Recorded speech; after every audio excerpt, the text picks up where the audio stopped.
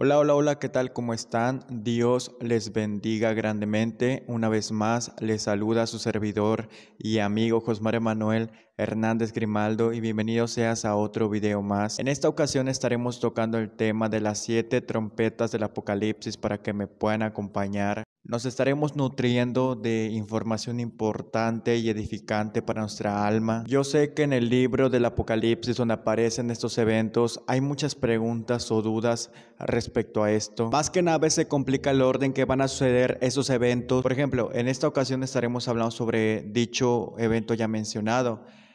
Este tendrá participación después que el anticristo ya apareció en la tierra y que la iglesia ya ha sido arrebatada. Ya para este entonces el anticristo, el hijo de perdición, aquella persona que va a aparecer en los tiempos finales, proclamándose como el Salvador, eh, ya habrá mostrado su verdadera intención. Acuérdense que cuando él aparece, aparece como un hombre de, de falsa paz, pero tiempo después su intención sale a la luz con una gran guerra.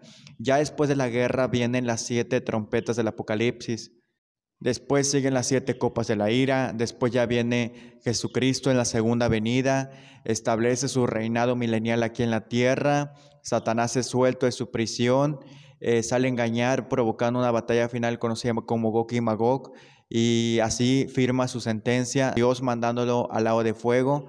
Después aquí ya es cuando dice la Biblia que habrá cielos nuevos y nueva tierra, donde habitarán los santos por siempre y para siempre con Jesucristo. Ya no habrá muerte, ya no habrá dolor, los animales serán inofensivos. Quiero aclarar varias dudas antes de empezar para que tengamos en cuenta sobre quién irán estos juicios, porque son castigos de parte de Dios a la humanidad. Debes de saber que Dios no castiga a sus hijos, Dios los lleva a un lugar de descanso para siempre. Eh, antes de todo esto, eh, habrá un evento conocido como rapto o arrebatamiento, donde Dios levantará a millones de cristianos de la tierra y los llevará en las nubes junto con él. Dice la Biblia, porque el mismo Señor con voz de mando, con voz de arcángel y con trompeta de Dios descenderá del cielo y los muertos en Cristo resucitarán primero, porque únicamente estos serán para el anticristo y para la gente que se dejó marcar. Nos impulsan muchas cosas a hablar sobre esto. Una de ellas es que la Biblia llama bienaventurados a los que leen este libro, o sea, bueno, también la Biblia, pero también el Apocalipsis, además de que sabemos los tiempos, sabemos qué es lo que va a pasar, tenemos la palabra profética más segura que es la Biblia. Vuelvo a repetir, para esto ya ocurrió primeramente el arrebatamiento, después un evento conocido como los siete sellos, que es la aparición del anticristo, uno de esos sellos, bueno, varios de esos sellos representan a la aparición del anticristo con los cuatro jinetes, ya después de aquí siguen las siete trompetas del Apocalipsis. Dice la palabra de Dios, Apocalipsis capítulo 8, cuando abrió el séptimo sello se hizo silencio en el cielo como por media hora. Aquí hablamos de los eventos anteriores, que te repito, son los siete sellos. Y vi a los siete ángeles que estaban en pie ante Dios y se les dieron siete trompetas.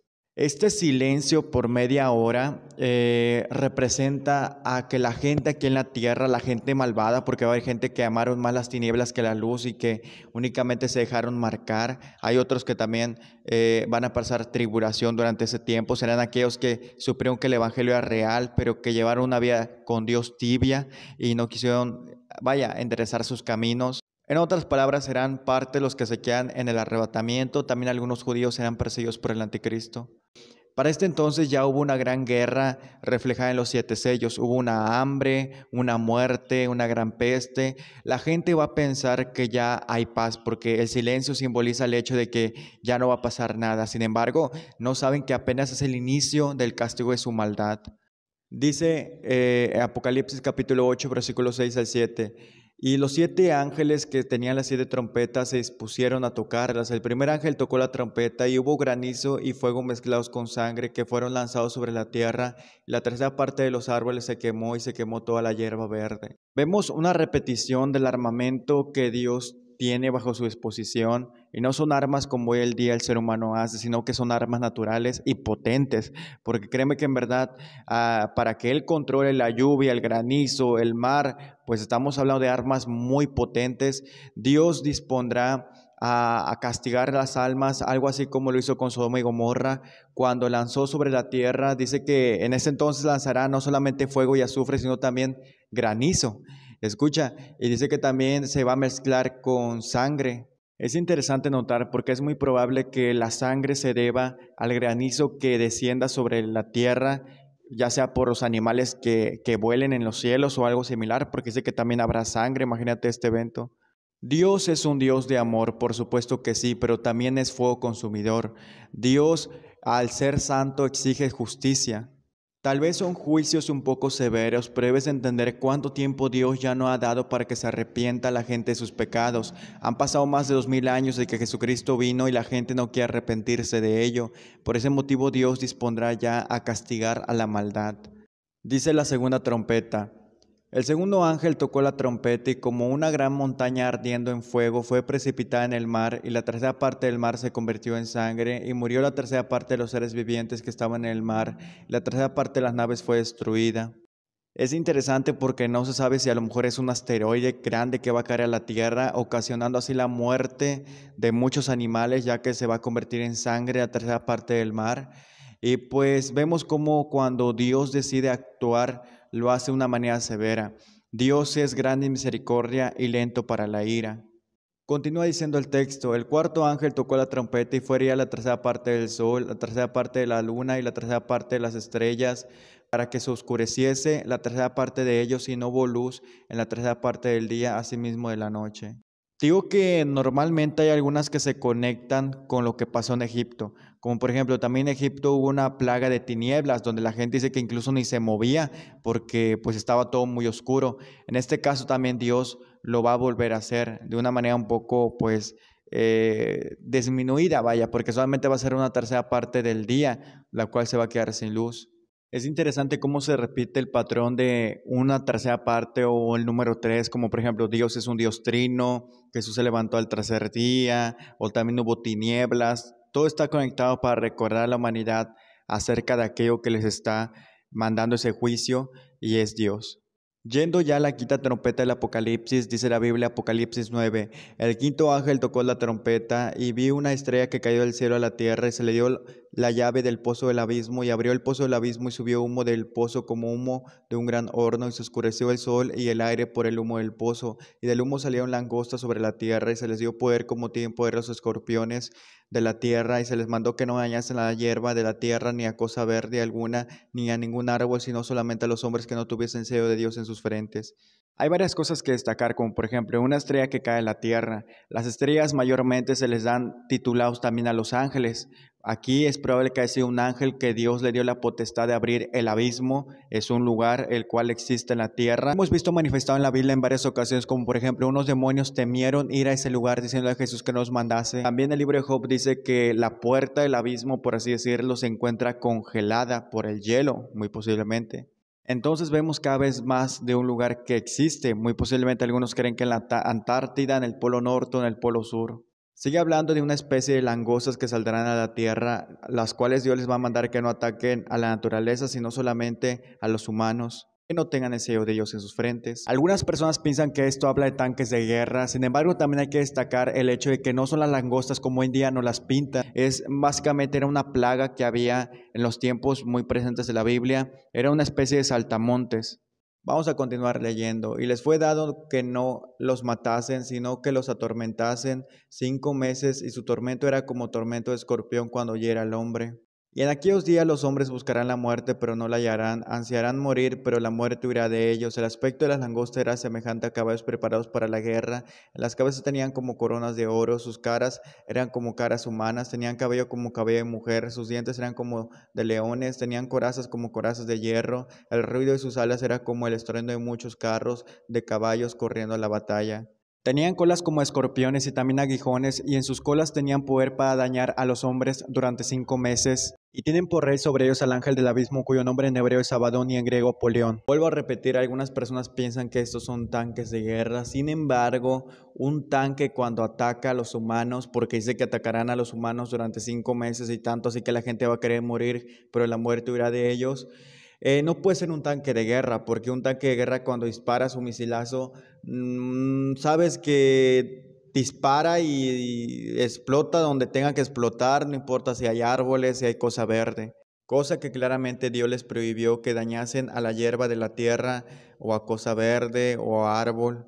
Sabes que algunas personas piensan que son una especie de demonios que se les meterán dentro de los seres humanos y los van a estar atormentando, ya que eh, ellos querrán morir, pensarán que es una enfermedad o algo así, pero sentirán un tormento muy grande, pero pues no podrán morir, ¿me entiendes? Eh, tanto así que sentirán como si los estuviera, ah, sabes, mordiendo, picando un animal venenoso. Su apariencia normalmente da mucho que decir, que son sus coronas como de oro, mayormente la corona significa el reinado. Eh, el reinado que van a tener durante ese tiempo, ¿sabes? Durante ese tiempo. Los pelos de mujer que dice que eran, pues vaya, habla mucho acerca de la humanidad, se refleja mucho el hecho de los humanos. Y pues la langosta que va a ser una plaga. O sea, imagínate cuánta gente va a haber en el mundo que no quiera nada con Dios. Muchísimos. Va a haber como una plaga de gente atormentada durante cinco meses, tanto así que la gente va a buscar la muerte, pero la muerte irá de ellos. Las corazas normalmente eran utilizadas para la guerra. En este caso, la gente pensará que tomándose medicamentos, que haciendo prácticas, tratarán de poner paz a su corazón, pero pues ellos como, como guerreros, esas langostas como guerreros o demonios, pues no, ni siquiera sentirán esos ataques. Y podemos argumentar más de que serán demonios, ya que no atacarán a los que tengan el sello de Dios en sus frentes. ¿Sabes tú que un cristiano puede quedar endemoniado? Porque él tiene el Espíritu Santo que es más fuerte que cualquier otra cosa o cualquier espíritu. Dice la Biblia, si Dios está con nosotros, ¿quién contra nosotros? Es interesante porque también se habla de un ángel llamado Abadón en hebreo y griego Napoleón. Se desconoce cuál es la historia de este ángel, la comparación de Lucifer que se nos revela que se reveló por soberbia en contra de Dios a comparación de este ser. Pero algo que es seguro es que ese ángel Apolión es un ángel caído, el cual Dios castigó metiéndolo en ese lugar. Pasando asimismo ya con la sexta trompeta del Apocalipsis, dice la palabra de Dios ahí en Apocalipsis capítulo 9, versículo 3 al 21. El sexto ángel tocó la trompeta y oí una voz de entre los cuatro cuernos del altar de oro que estaba delante de Dios, diciendo al sexto ángel que tenía la trompeta, desata los cuatro ángeles que están atados junto al gran río Éufrates, y fueron desatados los cuatro ángeles que estaban preparados para la hora, día, mes y año a fin de matar a la tercera parte de los hombres. Encontramos más naturaleza demoníaca haciendo función en la tierra. Vemos ya cuatro seres angelicales que estaban atados junto al gran río Éufrates, que están atados ahorita en la actualidad, los cuales tendrán como fin, fueron preparados, bueno, están en ese lugar listos para aquel día en el cual el Señor diga, salgan y acaben con una tercera parte de los hombres. Volvemos al mismo caso que Abadón. Vamos a continuar leyendo lo que dice la Biblia. El número de los ejércitos de los jinetes eran 200 millones. Yo hice un número. Así vi en visión los caballos y a sus jinetes, los cuales tenían corazas de fuego, de zafiro y de azufre, y las cabezas de los caballos eran como cabezas de leones. De su boca salía fuego, humo y azufre. Por esas tres plagas fue muerta la tercera parte de los hombres, por el fuego, el humo y el azufre que salían de sus bocas. Pues el poder de los caballos estaba en su boca y en sus colas, porque sus colas semejantes a serpientes tenían cabezas y con ellas dañaban. Y los otros hombres que no fueron muertos con esas plagas, ni aun así se arrepintieron de las obras de sus manos, ni dejaron de adorar a los demonios y a las imágenes de oro, de plata, de bronce, de piedra, de madera, las cuales no pueden ver, ni oír, ni andar, y no se arrepintieron de sus homicidios, ni de sus hechicerías, ni de sus fornicaciones, ni de sus hurtos. Muy posiblemente todo ese ejército que leímos sean soldados, un ejército de esa cantidad que va a arrasar con la tierra y va a ponerla en desolación. Mm, fíjate cómo va a estar la maldad de los seres humanos, tanto así que van a ver todo lo que va a acontecer y no se van a arrepentir. Aquí se cumple lo que es la palabra de Dios, que amaron más las tinieblas que la luz. Asimismo, yendo ya para la séptima trompeta, dice la palabra de Dios en Apocalipsis capítulo 11, versículo 15 al 19. El séptimo ángel tocó la trompeta y hubo grandes voces en el cielo que decían, los reinos del mundo han venido a ser de nuestro Señor y de su Cristo, y Él reinará por los siglos de los siglos. Y los veinticuatro ancianos que estaban sentados delante de Dios en sus tronos se postraron sobre sus rostros y oraron a Dios, diciendo, Te damos gracias, Señor Dios Todopoderoso, el que eres y, que eras y que has de venir, porque has tomado tu gran poder y has reinado, y serán las naciones y tú irás venido y el tiempo de juzgar a los muertos y de dar el galardón a tus siervos, los profetas, a los santos y a los que temen tu nombre, a los pequeños y a los grandes, y de destruir a los que destruyen la tierra. Y el templo de Dios fue abierto en el cielo, y el arca de su pacto se veía en el templo, y hubo relámpagos, voces, truenos y un terremoto y grande granizo. Ya básicamente la séptima trompeta es un grito de victoria, diciendo que finalmente el dueño de la tierra va a venir a reclamar lo que es suyo, que es Jesucristo y dice la Biblia que todas las cosas fueron creadas por medio de Él. Y Él ya va a reinar por los siglos de los siglos. Se acabó la maldad, se acabó las enfermedades, se acabó absolutamente todo.